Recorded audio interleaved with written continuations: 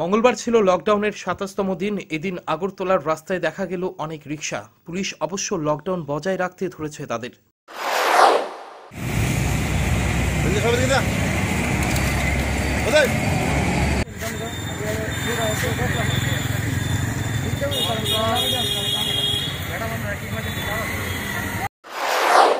কিন্তু এভাবে কেন লকডাউনের মধ্যে ঘর ছেড়ে বেরিয়েছেন তারা?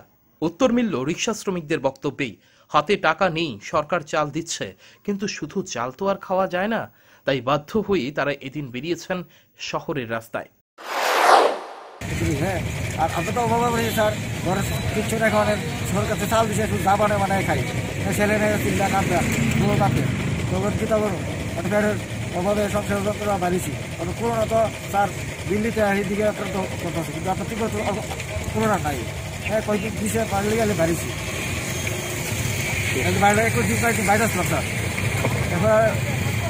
আর কিছু করার টাকা পয়সা কিচ্ছু নাই। চাল আছে। চাল দেখি তো চাল বাচ্চা খাইতে চাল যা খাইতেছে।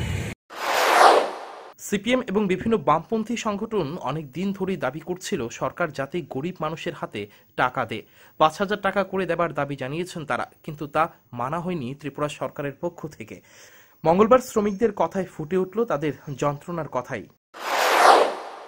পেছনবার লামাই দিছে আর লামাই দিয়া কেন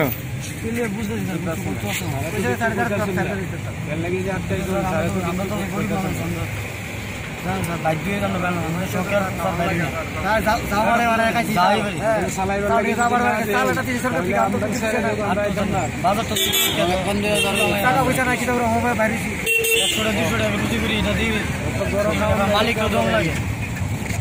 একদম করে কিচ্ছু নেই বলা দিল্লা বউ দিল্লা ঘর কিচ্ছু নেই খাওয়া চাল দিয়ে দাও খাওয়া নাই সরকার তো শুধু চাল দিচ্ছে আর তো কিছু দিচ্ছে না। দশ কেজি চাল দিয়ে কেউ এক মাস যদিও ট্রাফিক পুলিশ তাদের আটক করেছে আইনি ভয় দেখিয়েছে।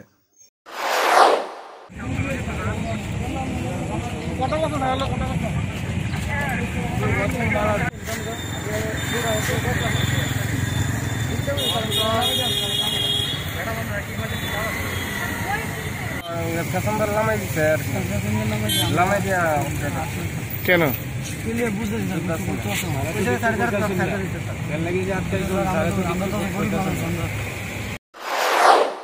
রিপোর্ট চ্যানেল দিন রাত